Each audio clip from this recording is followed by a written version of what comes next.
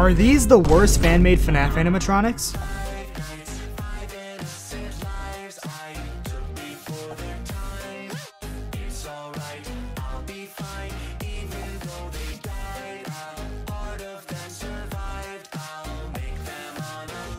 She is such a bad bitch though.